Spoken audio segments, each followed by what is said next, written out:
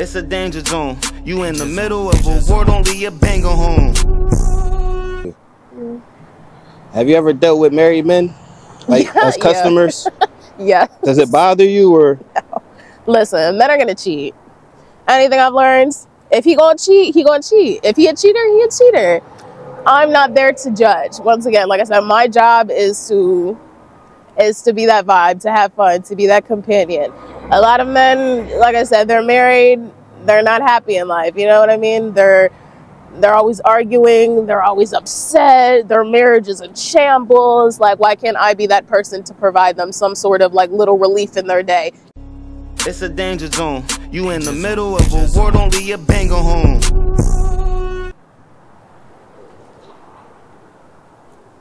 Megan, Mm-hmm. very nice to meet you. It's nice to meet you too. My name is 18 Reed with All Time Media. Okay. Tell me a little bit about yourself, Megan. Where you from? Um, originally I'm from Houston. Okay. Born and raised? No, I actually moved up to, I guess, Philadelphia suburbs, probably when I was ten. All right. Yeah, my dad's side of the family is from up here, so. Okay.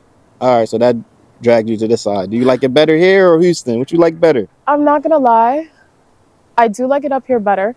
I feel like East Coast people are more authentic. Mm-hmm. I don't know. Um, down south, I guess it has its glamour, but it can get it can get really chaotic. And it, I believe, just in my personal experience, that it is more dangerous just in Houston itself than Yeah. any East Coast states. I've been I've been in New York, DC, all over. So it's like, I mean, I do like that comfortability. Okay. So you travel some places. I do. So what's one of your some of your favorite states? Washington. I like Seattle. Okay. Have you ever traveled out the country yet? Uh, Mexico. Did you like it out there? I did. You did. Um, I got a couple more stuff on the list. I gotta renew my passport, but Mhm. other than that, All right. So, how was growing up for you? How was your childhood, Megan? yes, how was growing up for you, Megan? I'm not gonna lie. Growing up was it was good.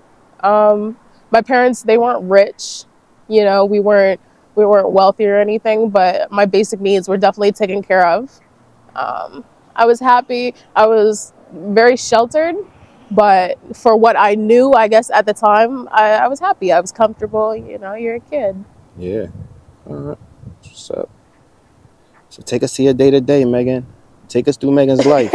how was your day to day? My day? to day varies, so I can't really give you like a, a firm judgment on that. Mhm. Um, yeah, my day to day varies. I like it though. I like having that freedom to kind of wake up and choose what I would like to do. Okay. And what brings you that freedom? You, you don't have a nine to five or anything? Work a no, job? no, nothing like that. Entrepreneur, Okay. entrepreneur. All right. Can you speak on your work a little bit? Uh, I'm an escort, personal companion. You know, I I provide what what people need, whatever they're missing in life. Hopefully, I can bring some sort of comfort or peace Mm-hmm. you know everybody everybody is looking for something somehow somewhere. They need something to relieve them from whatever it is that controls their life or whatever it is that stresses them out in life. You you never believe man. Guys as as like taboo as it is to speak on the subject of like even men expressing their feelings a lot of men are like very emotional. You don't get that. Yeah. You you always think that the woman has to be emotional. Men can't show their emotions. They're not allowed to feel. But once you really like talk to them once you really understand you understand that they're people too and they have a lot of pressure on them to live up to these societal standards you know to be that man. So i'm just there to you know be that peace so they can relax they can be themselves. So Megan, um, Mhm. being in the escort business, how old was you? How old was you when you started?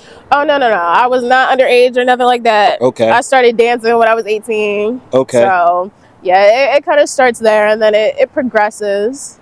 You know, you meet the right people, you get put in the right places, and you can flourish. You love the line of work that you do? I really do. Like I said, I feel as if that I'm helping people. Yeah. I like I like the fact of knowing that I'm doing good in the world. Once again, the money is good. I don't have to rely on other people to survive or to sustain the things that I want and what I like to do. You know, traveling. Like I said, I like I like finer things in life. So this kind of gives me that that opportunity to, like I said, do what I want. I guess I was always growing up. When I started to get older, I was always like a little rebellious. Yeah, So I don't know. I guess that's why this might be like a good fit for me. absolutely. As long as you love what you do. As long as You you, know? love what you do. If it doesn't feel like a job, then it's not a job. I hear that a lot. Yeah. So how much money you think you make a day? well, I can't talk about that, but a good, a good amount. Definitely a good amount. You make more than an average nine to five worker? Uh, shit, more than a doctor. I'll tell you that. if Oh, we're talking about like hourly, how much do doctors make? Like what? 70, 80, 100, somewhere up there an hour. So we're looking, we're looking pretty good. Like I said, I do, I do all right for myself. Okay, I respect it. All right. Do you, do you know like people you ain't got to put them out there though, but is there a lot of women that secretly do this line of work and stuff? What? Because this guys, you know, Hundred percent. it's like, dang, how you able to afford all these trips back to back like that? You getting flown out Listen, regardless, regardless if they're doing it in the terms of how I'm doing it, or? Mhm. a woman is still getting her money, no matter what. I promise you, right? Nah, Yeah. there are plenty of women who who definitely, definitely do this in whatever fashion it is. I don't know if they're just they got sugar daddies. I don't know if they just got little boyfriends who give them cash. Like you said, girls like nice things, they like to take trips. So shit, they gonna they gonna find a way to get that money. Trust me. Yeah. So they just gonna make it happen. Listen, listen. If a woman is persistent and she wants some cash, and a guy thinks she's cute, is it's like A plus B. There you go. All right, A plus B, one plus two. Yeah. But Megan, did anybody ever teach you the game? yeah, I actually had the best teacher. You know, every every good boxer needs a coach. You know what I mean? Somebody Yeah. to make them stronger, to hone their craft, to make sure they exercise their body, their minds, everything. So I genuinely, I had somebody good. You know, to lace me, teach me well, or I hope so. I I try to be a good reflection of everything that I've been taught. You know, everything's a learning process, though. Megan, how old are you? I'm 21. When's your birthday? You gonna buy me something for my birthday? We'll see. You know, Uh-huh. we'll see. It's We'll. November. I'm a Scorpio. Oh, November. Yeah. November what? 21st. I'm a Scorpio too. When's your birthday? The seventh. Hey, okay.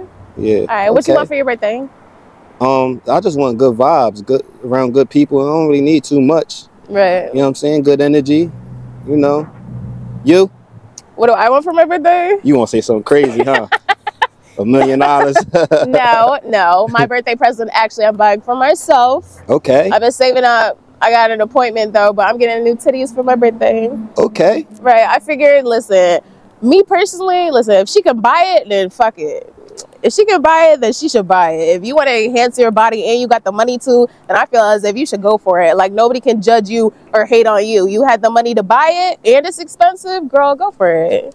So you know what I mean? I, I feel as if that I'm still young enough to not to not alter my body too much. Yeah. But I feel like I put in a lot of hard work over these last couple years. I put in a lot of hard work, a lot of time, a lot of energy. So I was like, this is my little birthday present. Okay. Nothing too crazy, but you know, a little, little something. Have you um paid for any surgeries anywhere else? No, no surgeries. No. So this is gonna be your first one. Yeah. I mean, I had like, I am, but only for like the recovery. Yeah. I heard the recovery kind of hurts, but like I said, I'm excited. Yeah. I, I earned this and it feels good. I know that's right. Yeah. Megan, any trauma in your life from the past, from your childhood that you deal with? Um, it's crazy. Like I said, I grew up sheltered, so all the trauma I really endured wasn't until I got older and was on my own. So I guess necessarily I can't, you know, I can't be one of those people who like blames their trauma on other people, like my parents or you know somebody hurt me, this or that. So I'm not, you know, I'm not one of those. Any, I guess, trauma I've had in my life, I've kind of inflicted on myself by putting myself in certain predicaments. So, what I would say on trauma is just to learn, to really learn from your trauma. Sometimes it's good to not to not be too in your head about it. You know, Mhm. some people their first instinct is to be like, "Woe is me! I have this trauma, this or that," and that's okay. It's good to you know embrace your trauma and try to work through your issues. But then again, life moves on. You got to keep pushing. You know, everybody has something they're going through, and everybody, the next person is going through something completely worse than what you're going through. So it's like you got to take things, you know, for what they are. Absolutely. Mm. Have you ever dealt with married men, like Yeah, as customers? Yeah. Does it bother you or? Listen, men are gonna cheat. Anything I've learned, if he gonna cheat, he gonna cheat. If he a cheater, he a cheater. I'm not there to judge. Once again, like I said, my job is to is to be that vibe, to have fun, to be that companion. A lot of men, like I said, they're married, they're not happy in life. You know what I mean? They're they're always arguing, they're always upset, their marriage is in shambles. Like, why can't I be that person to provide them some sort of like little relief in their day? Even if we're just talking, even if they just take me out to dinner. You know, some some guys don't even get that in their own household. They don't they don't have a woman in their life to really take care of them or cater to them. And that's all a man wants. He just wants to feel appreciated. So I'm like, even married men, I don't care if they're married, single, girlfriend, whatever. So Megan, I just want to thank you for your time. It's very short. She said she has a hair appointment today. I do. you know what I'm saying? So we want to end it. I got some stuff to do today as well.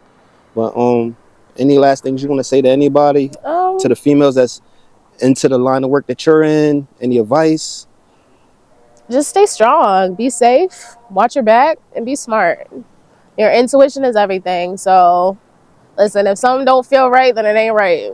And even if it could be right, then fuck it. Why risk your peace of mind or your safety or anything? Money comes and goes. That's one of the things I can say. No matter how much money I make, money comes and goes. That shit'll be gone tomorrow. So don't get too caught up in the money. You know, if this isn't something that you feel like I said, like you have a happy spirit about, then man, leave it alone Okay. because that'll just tear you down. All right, Megan. Thank you for your time. You're welcome. We out. All time media. Right.